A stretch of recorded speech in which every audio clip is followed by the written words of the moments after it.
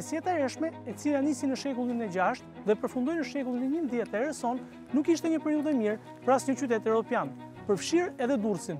Ato u përballën me pasojat shkatërrimtare të dyndjeve të disa popujve në Ballkan.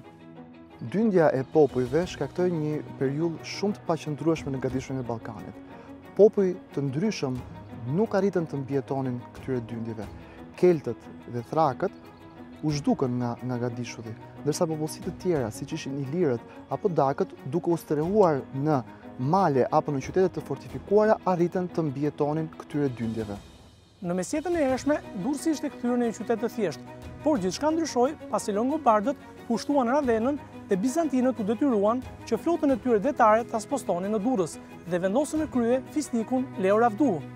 Leo Ravduhu ishte një fisnik vendas, ajo çfarë shënjoi qeverisjen e Leo Ravduhut në Durrës ishte shtrirja e kontrollit në të gjithë prapatokën e qytetit të Durrësit, e cila shtrihej nga lumi Drin në lumin Vjosë, prapatokë e cila sundohej nga bandat avaro-sllave dhe bullgare.